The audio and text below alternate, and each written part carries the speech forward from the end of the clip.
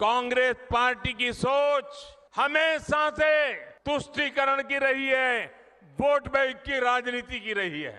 2004 में जैसे ही कांग्रेस की केंद्र में सरकार बनी, उसके सबसे पहले किए गए कामों में था, सबसे पहला काम था चुनाव जीतने के बाद आंध्र प्रदेश में एस सी के रिजर्वेशन में से कमी करके मुसलमानों को रिजर्वेशन देने का प्रयास। ये एक पायलट प्रोजेक्ट था, जिसे कांग्रेस पूरे देश में आजमाना चाहती थी।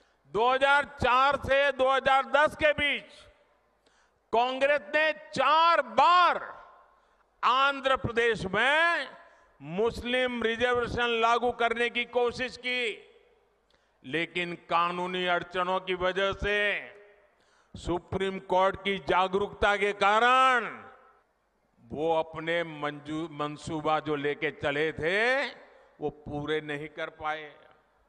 2011 में कांग्रेस ने इसे देश में लागू करने की कोशिश की।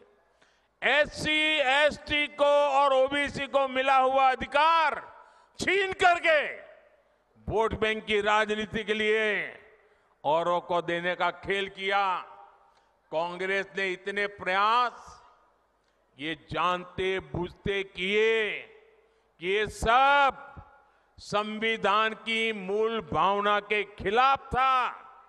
लेकिन कांग्रेस ने संविधान की परवाह नहीं की, बाबा साहब आम्बेडकर की परवाह नहीं की। जब कर्नाटका की बीजेपी सरकार ने, जब हमें मौका मिला तो हमने पहला काम किया। उन्होंने जो एससी एसटी से छीन करके मुस्लिम कोटा निकाला था, उसको हमने खत्म कर दिया। और जिनका हक था, उनका हित सुरक्षित रखा।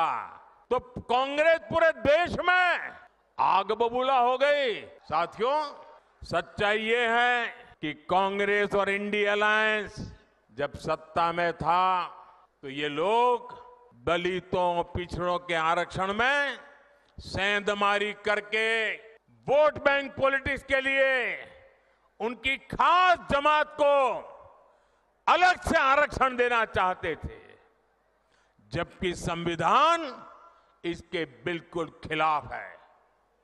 आरक्षण का जो हक बाबा साहब ने दलित, पिछड़ों और आदिवासियों को दिया कांग्रेस और इंडिया अलायंस वाले, उसे मज़हब के आधार पर मुसलमानों को देना चाहते थे।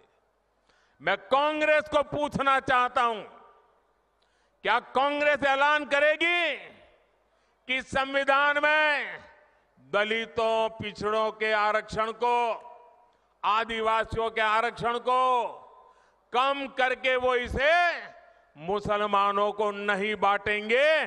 जरा वह देश की जनता को वादा करो।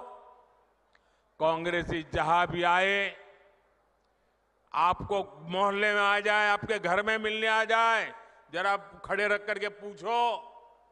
कर्नाटका, आंध्र जैसे राज्यों में इन्होंने आरक्षण को मज़हब के आधार पर बांटने का खेल क्यों शुरू किया था?